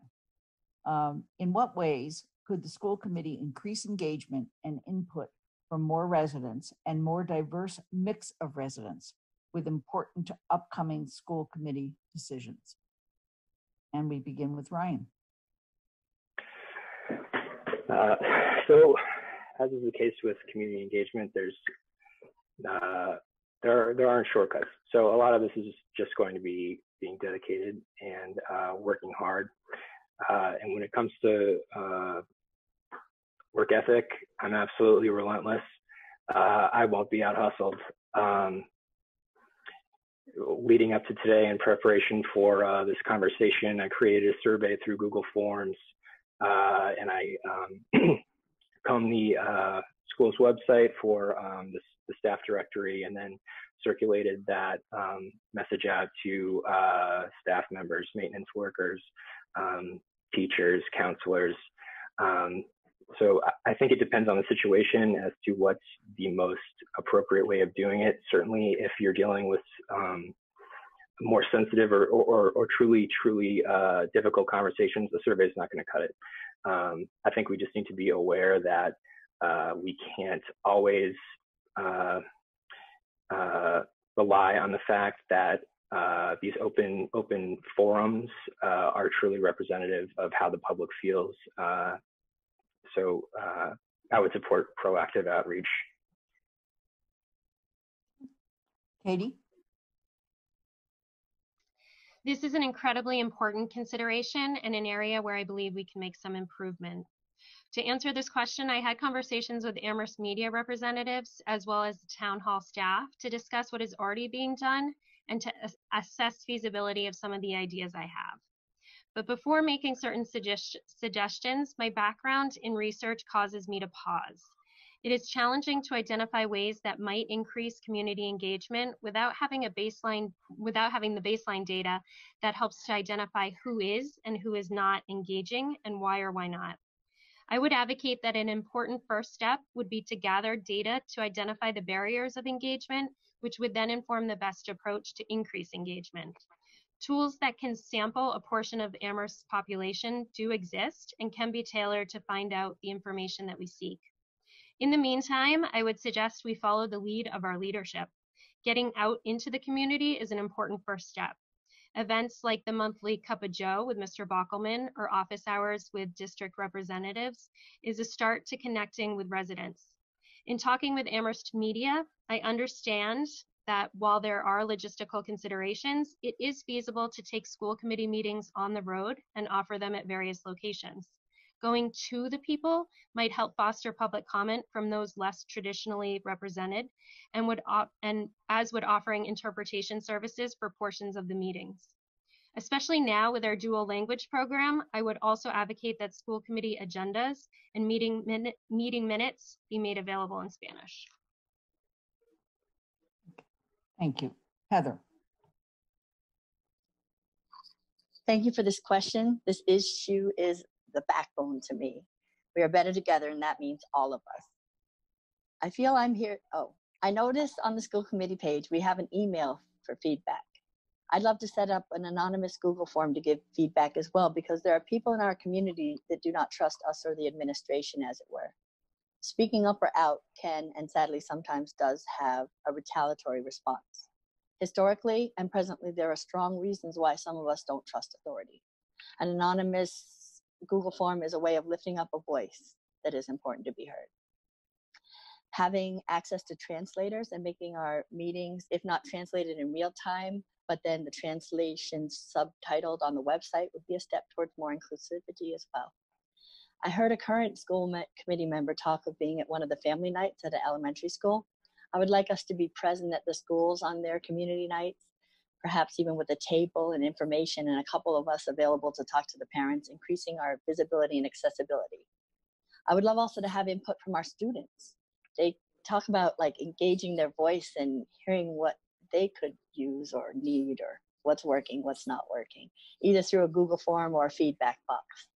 And in my dream, with no budget, I would love us to throw family student appreciation cookouts at Groff Park, Mill River, and War Memorial to come together as community, celebrate, and be more visible. Ultimately, finding ways to reach out differently, offering childcare, transportation, perhaps going into the communities and being available is going to be necessary to gain more input and more inclusivity uh, in our community. Thank you. Gaston. Thank you. Um, yeah, I love the idea of having more more parties. The the feeling of community at the um, events that do occur is is fantastic, and uh, I would love to see that magnified.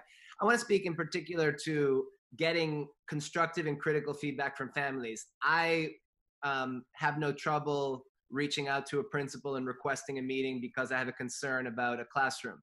Um, but I've spoken to many of my um, kids' friends' parents, and I know that they are not comfortable doing that. And so this is a problem to solve because this is feedback that is essential to succeeding. Um, it is important to know what parents are experiencing and what their children are experiencing. And I, I think that there's a gap of information. So I think it's a question of setting the goal and then being creative. So let me just kind of brainstorm with you for a second. I can imagine um, meeting parents at drop off with an iPad that has like six options of different kinds of issues. Would you like to have somebody reach out to you about this, that, or that? And you kind of initiate the contact. It's, in, it's an invitation to uh, reach out. You meet um, parents at the bus stops. Um, yes, it takes effort, it would take time, um, but it's an important turn to make from parents who are simply not used to uh, raising critical questions about the experience of their children. And it's essential information to succeed in the school system. Okay. Thank you. We're now going to go to conc- concluding comments. And again, we're limiting you to. Did I skip Gaston again? No. Okay, that's an old me- message. Thank you. Um, we're going to go to concluding statements. And in this case, we begin with Katie, and you're limited to two minutes. Thank you. I want to thank you all for this opportunity and the time that you've put in this process, even amongst the COVID 19 challenges. As I outlined in my opening statement, my objective this evening has been to demonstrate that my skills, my knowledge, and my experience situate me as the best candidate to fill the vacancy at this time. As we all know, we are at an incredible point in our town's history. We need to consider how the elementary school building project intersects with other townwide infrastructure demands and the importance of prioritizing our schools in the capital plan. The person you choose tonight should be ready to not only swear in tomorrow, but to hit the ground running. I'm well versed on what's been happening, and I'm ready to work collaboratively with the team to do the difficult work in the months ahead. I love Amherst schools, and I want to work to retain what's great about them while continuously addressing our challenges. I want to support our wonderful teachers and students, and I want to see, see a successful elementary school building project that unites the town. I ask that you provide me that opportunity by voting for me this evening. Thank you very much. Heather? In closing, I want to thank all the candidates for putting yourselves forward to serve. I thank you, Amherst Town Council and Amherst School Committee, for your commitment to Amherst and the Amherst schools. I'm grateful for the opportunity to come before you as a candidate for the Amherst School Committee. In your consideration, please know that I'm a hard worker, familiar with education from varying perspectives. I live and breathe social justice and racial equity. I commit to always bring my best self. And if there's a deficit in my knowledge, I'll do the work to fill in that gap in my understanding. I bring all my experiences, education, understanding, and passion to the table to serve the Amherst schools and look forward to working together with you all to be the best versions of ourselves we can be. Thank you. Thank you. Gaston? So let me say again, I'm you know humbled by the the contributions and perspectives of uh, my fellow candidates, and uh, my main point I want to make to the town council and the school committee is that you know I'm at your service. If it's uh, to serve on the school committee or in any other respect that uh, you would like to ask for my help, um, I'm uh, very keen to provide the assistance that I can with the skills and, and perspective that I bring to the table.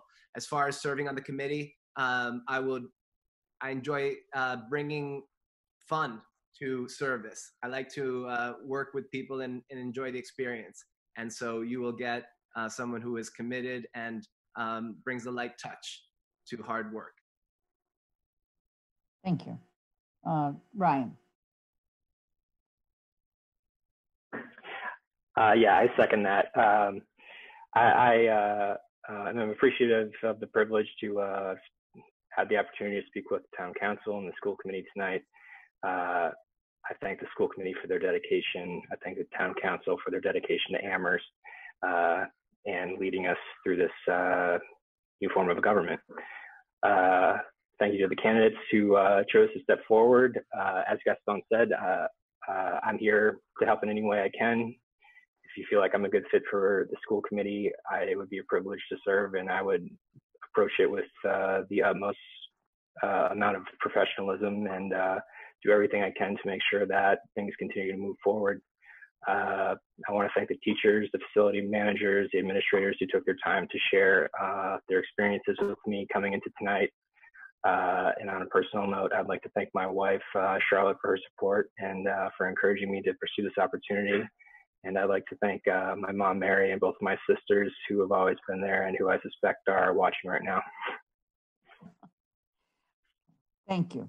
Before we take a break, I just want to thank all four candidates. And let me just say, I know we have a tough choice ahead of us. Uh, each of you has worked hard to come forward with your statements, your answers to your questions.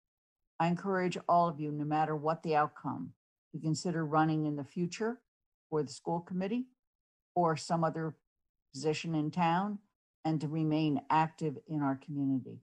So with that, we're going to take a 10 minute break. We'll, we will come back and reconvene at 7:15. No, 7:45. 7:45. Thank you.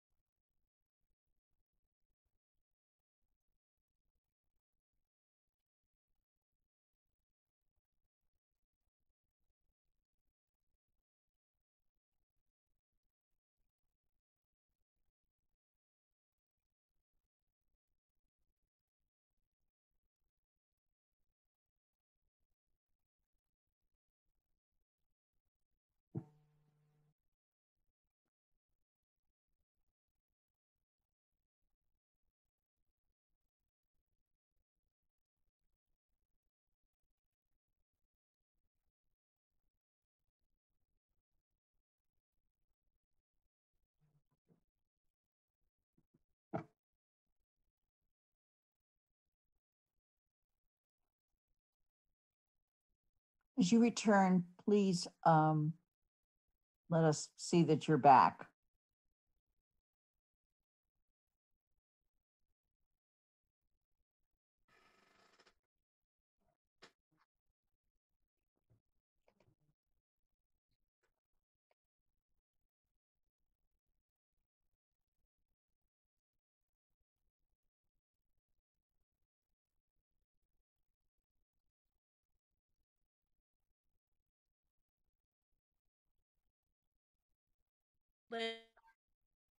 I think you should call, make, once you're ready, have you repeat the thing. I can't hear you because you're breaking up.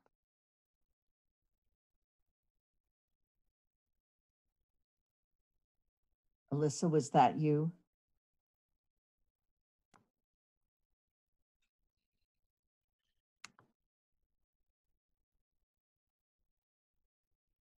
Okay, I'm going to, uh, first of all, ask that the candidates not only mute, but actually turn their video off. Okay? Thank you. And then I'm going to go. Lynn, could through you and repeat make that? sure that- I'm sure, I'm sorry? Could you repeat what you just said? Yes, I asked the candidates to mute and turn their video off. Thank you. Uh, I'm going to go through the tally vote, or I'm sorry, the roll call, just to make sure everybody's connected again. Uh, Peter Demling, Present. Ben Herrington, Present. Allison McDonald, Present. Carrie Spitzer, Present. Shal- Shalini, Present. Alisa, Present. Pat, Present. Darcy, Present. Lynn Griesemer, present, Ha- Mandy Joe, Present. Dorothy,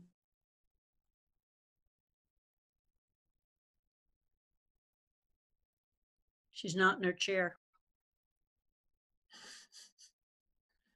okay, I'll come back to Dorothy, Evan, Present. George, Present. Kathy, Present. Steve, Present. Andy, Present. Sandy. I mean, Sarah. I'll answer to anything. I'm here, present. Thank you. I'm sorry about that. Dorothy, have you returned?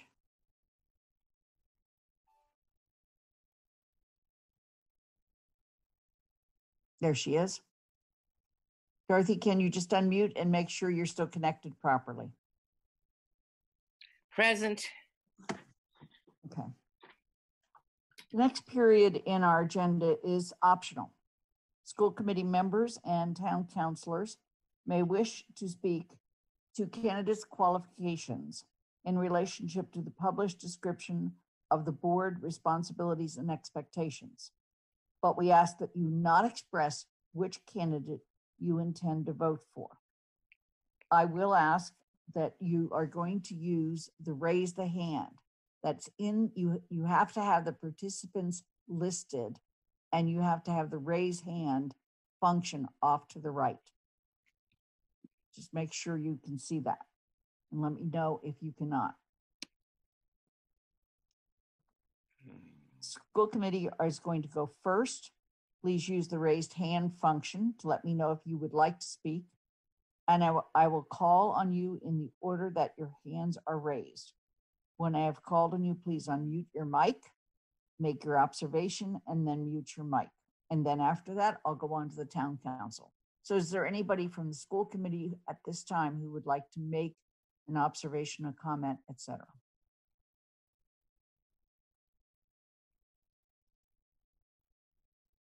Peter, please unmute. Okay, can you hear me all right? Yes. Okay, so um, uh, I want to first thank all the candidates again for applying. Uh, as we all know, it's not easy to run for office in this town, uh, more so in the middle of a crisis, and even more so in this particular format of open evaluation without the privacy of a voting booth. So truly, thank you everyone for for stepping up um, and making this a robust process. Um, so, you know, with respect to matching up the candidates to the published description of the board responsibilities and expectations. Um, I've heard many good things from all the candidates tonight, uh, as well as in their statements and in emails we've received from the public um, there's no way I could cover here. Um, I, you know, I do want to share why I find myself particularly impressed uh, with how well Heather Lord matches what I think the school committee uh, needs right now. Um, I like that she's an Amherst resident, a graduate of our high school, uh, a lifetime Amherst resident, excuse me, a graduate of our high school, a former Marks Meadow Crocker Farm and middle school parent, a former resident parent of Amherst high school students, and a current Amherst high school parent, which is then complemented by her volunteer and work experience in our schools on the Marks Meadow PGO, her Marks Meadow and Wildwood internships for her master's in ed, focused on multicultural education, substitute teaching here for the last decade, and her recent Fort River internship as school adjustment counselor for her master's in social work. That's a lot of direct and lived experience as a student, parent, and staff member in our schools that I think would really help broaden the perspective of the committee. Um, I like her six years of experience on Amherst racial equity and her social justice work uh, in the schools through UROC. Now, I've had the chance to attend some of those UROC events, and I've seen that Heather is not afraid to ask the hard questions or have uncomfortable conversations. Uh, on the contrary, I've seen her demonstrate that the practical work of undoing racism requires listening to the lived experience of others and then constructively but firmly engaging with those in power. I think that would be a really valuable voice at our table. Uh, I like her unambiguous support for the one building, one project compromise proposal that, and I like that it comes after having voted no before for the school committee to be able to demonstrate a, a coalition. Um, and given that our committees just unanimously voted to extend his contract, I like that she's expressed clear and strong support for the performance and leadership of our current superintendent. Uh, you know, we have a new and very difficult fiscal reality ahead of us. There's no sugarcoating that. And I think we're going to need a school committee united with the superintendent on this particular front so that there's no doubt with the public about the urgency to replace both Fort River and Wildwood as soon as possible. And I see Heather's voice as a big part of our being able to communicate that message as broadly as possible. Um, and finally, I, I love the letters we've received that speak so highly of her kind heart and compassion to help others. Uh, and just to quote from one that really resonated with me, uh, she is a creator of events that hold meaning to families often not heard from and understands the struggles many families face. She is sought out by community members because of her ability to connect. You know, we talk so much about outreach, and rightfully so. I think that uh, hers would be a really valuable voice in our committee. Thank you. Are there other comments from school committee members? Please raise your hand. Allison McDonald. Hi, thank you. I, there's a, a lot of us to go through, and, and it'll be a very, very long night, so I'm not going to speak very much other than to echo the, the gratitude for these four um, eminently qualified, strong candidates um, that have stepped forward in this um, in this time. You, when you submitted your statements of interest, we were just getting into the um, this crisis, and it is um, a big road ahead of us. And and so I appreciate um, the courage that you've had and the willingness for you to serve serve our town and our students. Um, and that's uh, I, like I said, I want to hear from uh, other folks, but I just wanted to say thank you very much. We have a really tough decision tonight. Thank you. Harry? Thank you. I also want to keep my comments brief, but I would like to state that I was highly impressed by all four of the candidates who stepped forward, and I want to encourage everybody who who, who stepped forward tonight to, you know, not be discouraged. We can only choose one person tonight, and I hope that everybody will continue to be engaged and, um, you know, look towards other ways of serving both the schools and the town of Amherst. So I just want to thank everyone, and um, I'll keep it at that. Is there anybody else from the school committee? Ben, yes. Yeah, I kind of just wanted to echo everyone else's sentiments. Thank you all for uh, for putting yourselves forward. It's definitely not an easy task, and um, based on what I see here tonight, this is going to be a very difficult decision. And I, I think we came up with four very, very well qualified candidates here. So thank you for all putting yourselves forward. Any other comments from school committee members? Ben, please take your hand down. Thank you. Okay, uh, we're now going to move to town council members and comments. Dorothy, you have your hand up. Please unmute, yes. Right. I, I think I did not understand what you said in the directions. Um, I thought you said we were not to indicate who we were going to vote for. I did ask that you not do that.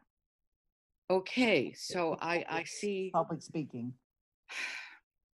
Okay. Well, thank you. So is that going to hold? I would prefer that it hold, but um, this is an opportunity to weigh your interests or your, I'm, I'm sorry, uh, to talk about candidate qualifications. Okay, well, um, I have a lot to say, but I won't say it all now. Um, but I do think that one of the biggest, I mean, a- again, I, I agree with everybody. I, I think that it's a very talented group of people, and I hope that all of them can play, continue to play, and, and a, a larger role in our school system, because it was a very rich field. But I think that some of the biggest challenges we're going to have are, in fact, financial, dealing with the financial fallout of the coronavirus. And so I think that that's one of the things that we have to look for um, in a, a, another school committee member to make sure that they can handle the intense work that is going to be going on, not in terms of just of the regular budget of the school system, but also in terms of how to get the best building that we can afford, which is going to be a real challenge. Because I don't think we want to make the mistake that I gather was made in the past of saving money by getting two getting one plan and putting it in two schools.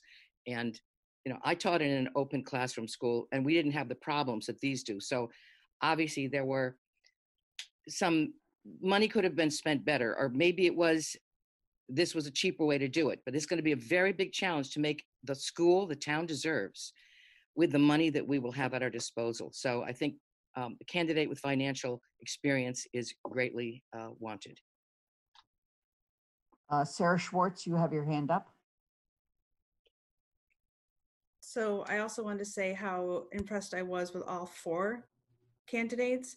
And I also wanted to say that maybe we could have more specific um, direction on what we are or are not supposed to ask or say about people's qualifications because for me, I don't know that I felt that it was um, all that helpful or appropriate to have someone on the school committee who was so powerful, basically just campaign for one person.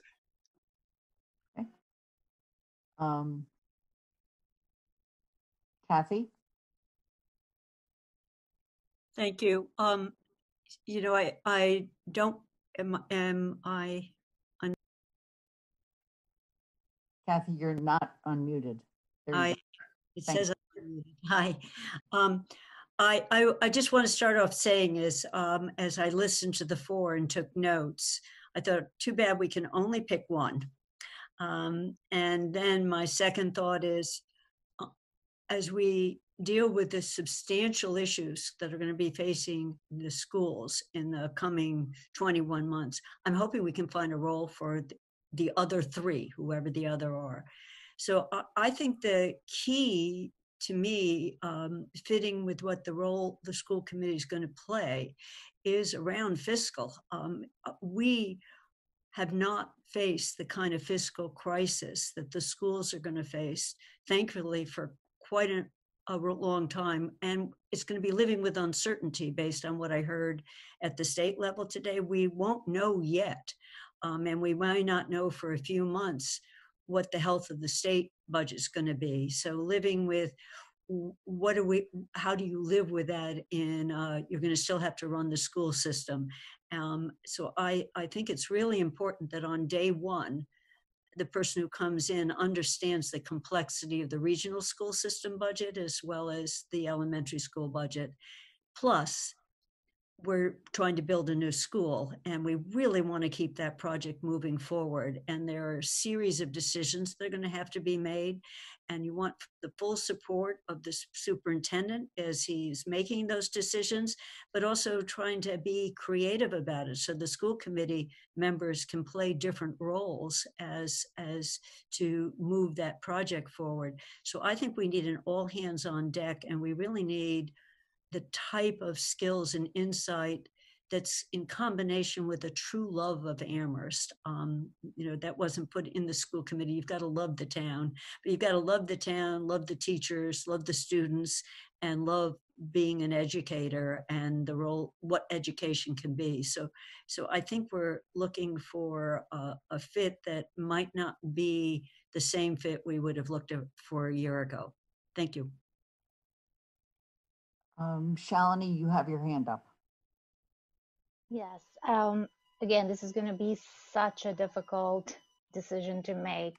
I wish we could vote for all four. And again, I'm sure there are opportunities for everyone to to participate. Um, that being said, um, what I mean, we, we all are in agreement that some of the important things that are going to uh, be front and foremost are the budget, the the building, and then the community engagement and hearing all the skills in education um, of, in the candidates, I think we can agree that it's to me it feels like everyone had the skills, everyone has the educational background, has the experiences, has a willingness, and as Kathy pointed out, a love for for this town, and I, I saw that in each one of you. So.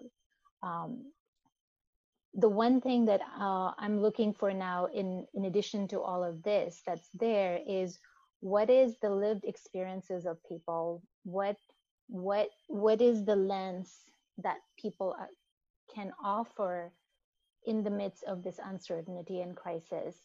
And this is not something that can be taught in any school. This has to come from the individual's own lived experiences their own diversity their own background and their sensitivity to to certain populations or different populations that education cannot teach. So I really encourage us to look at the candidates and see who amongst them can engage different parts of our community that may not have a voice or that are not reflected in the budget making and so forth. Um, yeah, that's all for now. Thank you. Are there any other councilors who have comments at this time?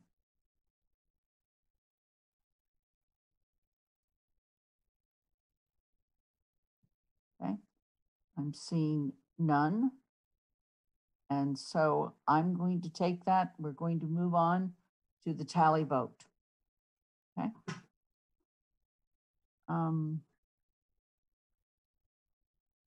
This is a roll call vote. Uh, the winning candidate requires a majority of votes of the remaining filled seats on both boards. Absences and abstentions at the meeting do not affect this requirement. Therefore, the number of votes required for the successful candidate is nine. We will then proceed to a roll call vote, starting with the school committee and then the town council. This will be done in alphabetical and rotating order for each group. If on the first roll call vote, no candidate receives the required number of votes, then the process will be repeated until a candidate receives a majority of votes as defined above.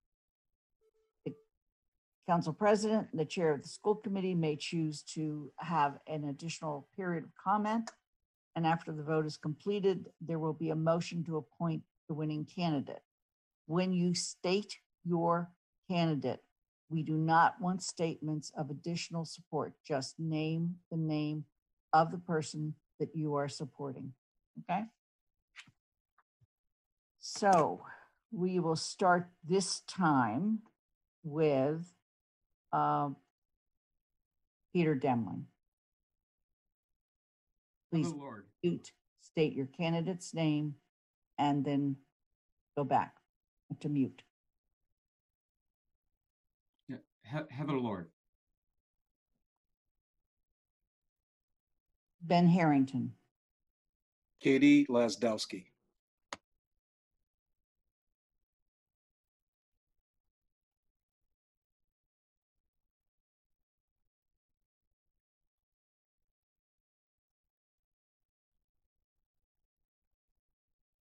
Are you there? There.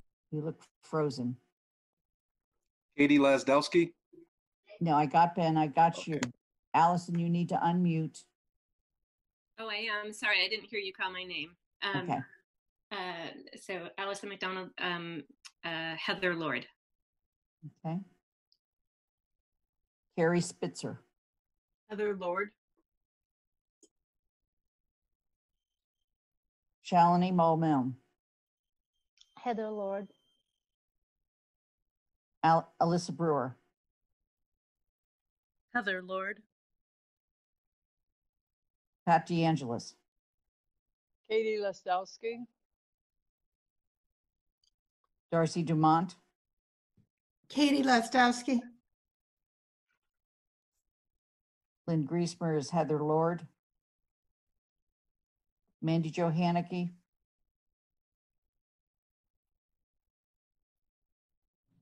you need to unmute. I know it wasn't working. Um, Gaston de los Reyes,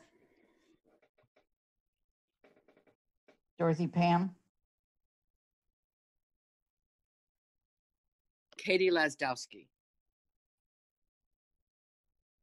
Evan Ross, Heather Lord, George Ryan, Heather Lord,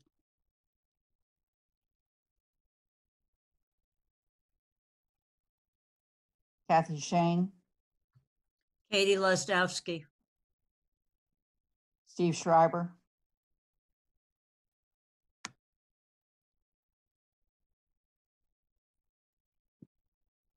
Steve Schreiber,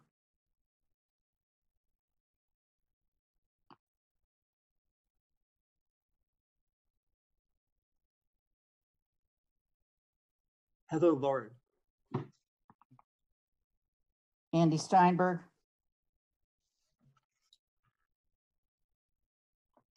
Heather Lord,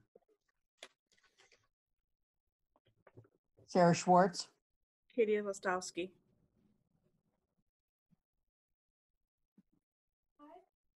it's gonna be good.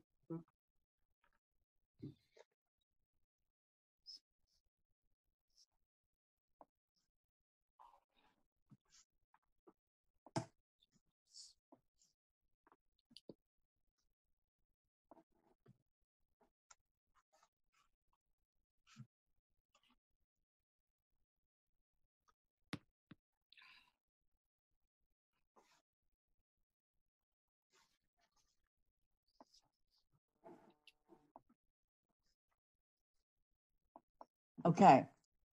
I have 10 votes for Heather Lord, six votes for Katie Ladowski, and one vote for Gaston.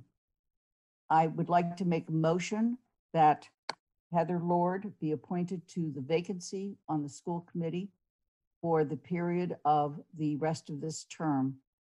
Is there a second? second, Second. Shalini. Shalini has made a second. Is there any other discussion? could the motion be for the, we had a draft motion. Can I read that? Please, thank you, because I couldn't find my draft motion today. Thank you.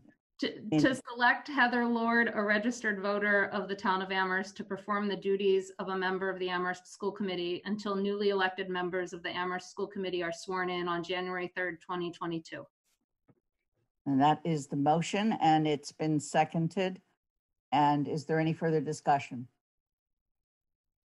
Then I'm going to do a roll call vote so that we see where we are in our final vote. This time I will start with Ben Herrington.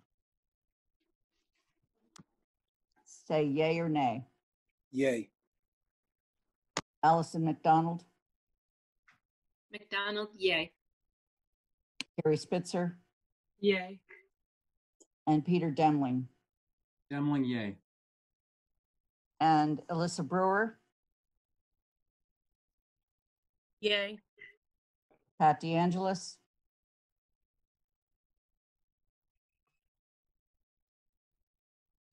unmute Pat. Yay. Darcy Dumont, Oh, uh, what are we voting on? you're voting on the motion to have Heather Lord fill the vacancy that- since she received a, va- a majority of the votes. Okay, yay. Lynn Griesemer is yay. Mandy Jo Hanneke, Yay. Dorothy Pam, Abstain. Evan, Evan Ross, Yay. George Ryan, Yay. Kathy Shain, Yay. Steve Schreiber, Yay. Andy Steinberg, Yes. Sarah Swartz, Yay. and Shalini Bahl-Milne. Yay. The vote is 16 for, zero against, one abstention, no absences. Heather, we would like to thank you. If you'd like to unmute and just allow yourself to be seen by the public. Thank you. Very much, Heather. This has been a difficult process. I want to thank all of the candidates. Again, we want to see all of you active in our schools. We want to see you all active in our towns. And if we could have picked four, it would have meant some other people would have had to go off the committee, and we don't want that either. So have a good evening. Thank you for all your efforts to come together for this very special meeting. The meeting is adjourned.